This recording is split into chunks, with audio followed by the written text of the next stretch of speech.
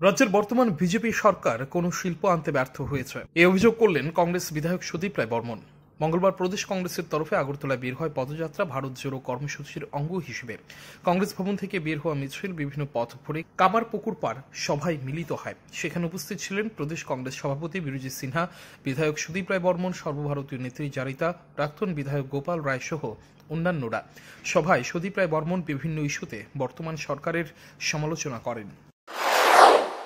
Slogan এটার ভিত্তিপ্রস্তর স্থাপন করেছেন বিহারের মুখ্যমন্ত্রী Nitish Kumar.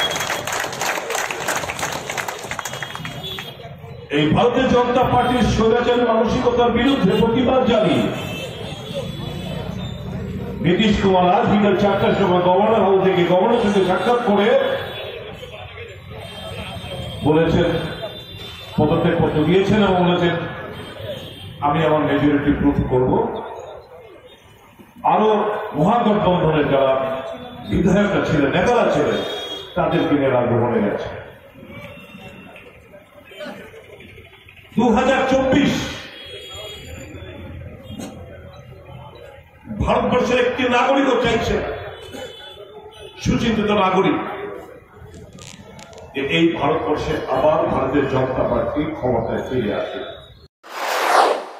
report, Channel Tinrath.